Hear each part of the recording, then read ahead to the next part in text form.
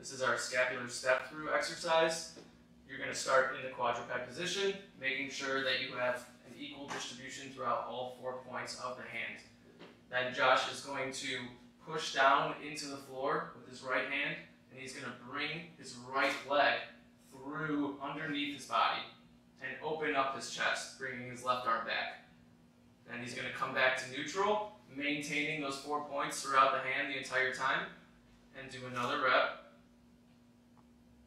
creating as much stability as you can through the hand and up into the shoulder.